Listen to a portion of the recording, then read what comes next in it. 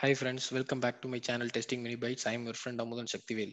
Today uh, we'll we'll see an optional topic. Again, this is not mandatory, but if you if you like to have uh, uh, some good knowledge uh, on data provider, you you, uh, you know we can uh, you can watch this topic. Otherwise, this is not a mandatory section that will be used in our framework. Okay, so this this video we're gonna see how we can use JSON with a data provider, right? So normally people drive their uh, uh, test using data provider, which which gets the data from its Excel sheet. That's that's what more you know. We have a lot of tutorials teaching the same, but uh, in your case, in your company, in your project, maybe you know you have test data in a form of JSON or you know in, in an XML or in a YAML file. Okay, you can have it in any any form. Okay, uh, how how can we utilize that to you know to to uh, uh, feed the data to the data provider right? So we can see how we can do that.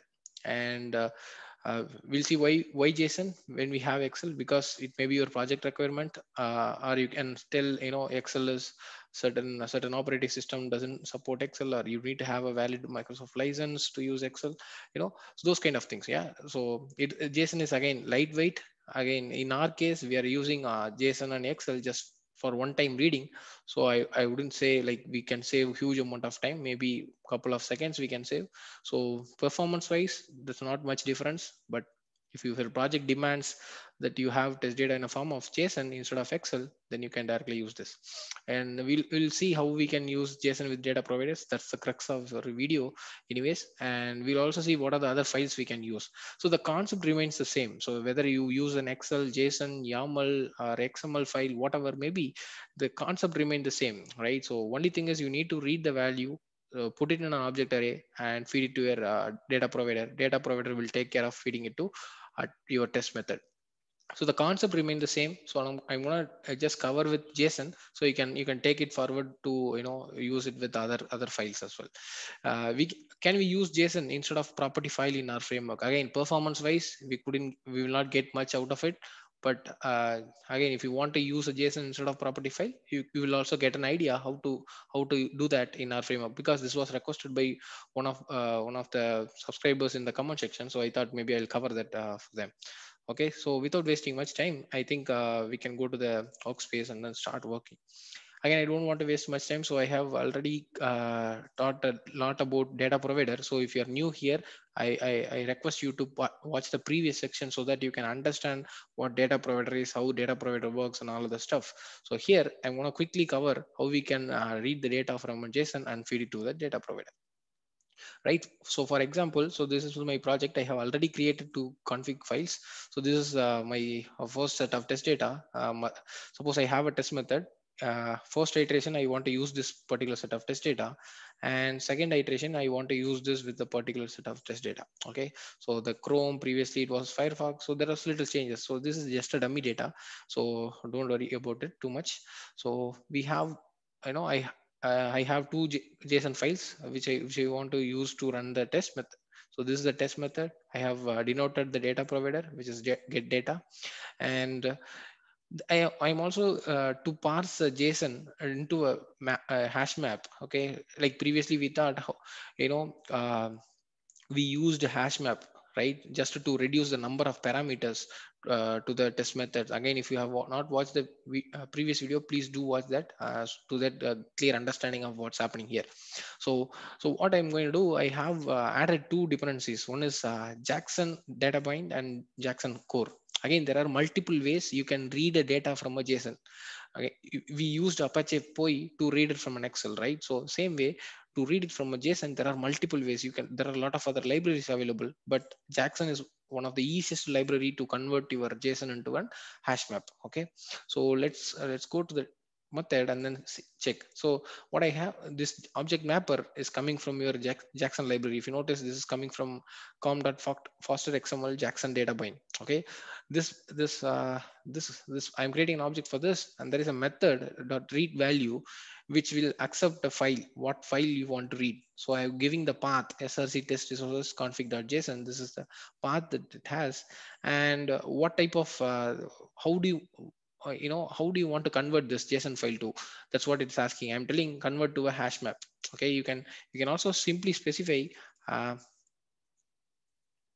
uh, here uh, just a hash map okay? Just hash map dot class okay? But java compiler will tell you uh, you know the safety type safety the expression of type hash map needs to tell what what kind of object you are going to store there. Okay i want to know what you want to store there. That's the reason okay we want to use like this okay? So we want to create an object for type type reference and then you just use like this okay? So now uh, we have read the first json file and converted into a hash map which has a key and the object. So again in our case it's just uh, you know it's just a simple string comma string so you can even use a string comma string here. But in in some case you can have a you know a json array or json object okay? So in that case you might have to store it in an object. That's the reason i have my value as uh, object okay object type. Same way i have read the second hash map okay? The thing difference only difference is the file name okay? That's the only difference. Uh, now i have two hash right so what i can do i can simply return an object array uh, which which holds map 1 and map 2 so what will happen if you have a one dimensional uh, object array it will be uh, ran uh, the number of uh, times it has the elements. So if there are two elements, it will run two times. And the number of parameters that will be fed to your method is the map. That is only one argument. Again, I'm using a you know for each loop uh, for each loop with the with java 8 implementation uh, consumer BiConsumer in implementation. But if you want to use a conventional way of iterating using map.entry we can do that as well. So it's uh, it's, it's actually storing string comma object. Okay and you can name it anything. And what is map get so i think map entry set. Okay so with this uh, you can also use a normal way of iterating a map and then print all the values. So m dot get key and i want to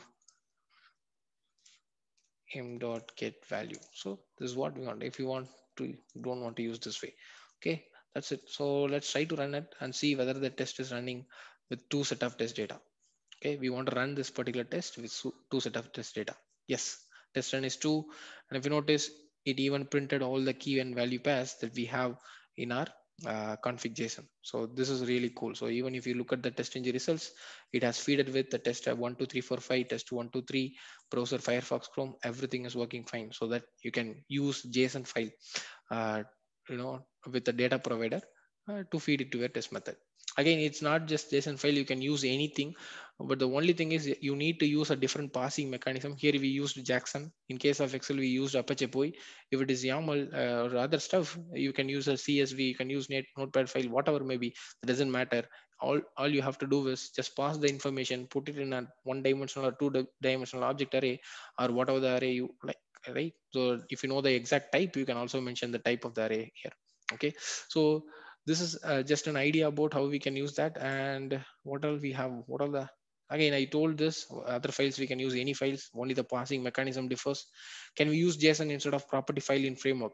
This is one of the question that's been uh, asked by the subscriber right? So we, will try to cover that. This is the property uh, utils class that we have generated right? So now you also learned how to read a json file and then uh, you know uh, convert into a form of hash map. This is what we have done. We have read property file and then we have converted into a hash map. Okay. Since you know the approach, you can also do that. So maybe I'll quickly cover that. That's not a big deal. So let me quickly create a, a JSON utils. Okay. Java. And most importantly, I need to add the dependency. So let me copy it from there. So this is the two dependency that you need. Okay, copy it and go to the Selenium auto automation framework. This is our uh, main framework, right? So I'm going to add it here. Just save the file. Okay. Now we will we'll copy the entire thing from here. Okay. This is what uh, the idea is same. Okay. So just the differences we are going to read it from JSON. Okay. I don't need this anyways. Okay. This is JSON utils. Okay. And I know I don't need this at all. It's not needed. I don't even need to iterate all these things. Okay. So I can just simply say, okay, config map, okay, equal to new object mapper. okay just new object mapper uh, and then there is a read value method which to accept uh, you can directly pass uh, okay this and then the file is this.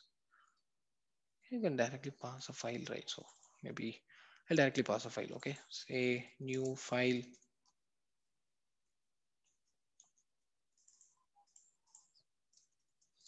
And you can pass the file file path. Control shift and o okay? And you can for now. I'm just putting hash map dot class. So everything remains the same. The only thing is uh, we used uh, json to get the config file. Okay suppose if you want to store all the properties that we have in the form of config you can do that. Okay. it's showing map may not have been initialized. Okay there is some problem here okay okay i need to initialize i can initialize here itself. It's not going to change much. Good. So i think uh, everything is fine now. Uh, okay. I can remove the final modifier maybe. Good. So now the same thing. So you don't have to touch anything here. Everything will work absolutely fine. So so only difference is you need to just give the path of the uh, no i don't need this at all just give the path of the json file. Again you can you have to create a, a variable in the constants class. Okay if you go here you have to create a config json path and then you have to provide the path there. Okay that's the only thing you have to do. Uh, okay uh, apart from that everything remains the same. Uh, so i hope i have answered your question. So if you like the channel please do subscribe uh, share it with your friends guys. Thanks a lot. We'll see you in another interesting video. Thank you